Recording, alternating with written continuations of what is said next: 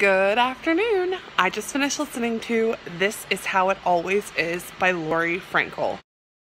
Thank you, Donna at the Pickerington Public Library, for making this a book club book for next month because this book is amazing. And read it. Everybody, I don't care what you're doing, read this book. It is beautiful, important, poignant.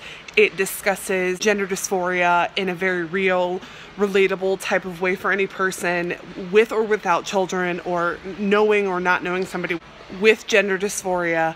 I absolutely love this. I cried when it came to the ending because it was just so perfect and it's it's something that I don't understand as a person. And so to feel like a light was finally shed on something that I, I had a hard time comprehending, I'm just forever grateful. It's going to be a five out of five for me.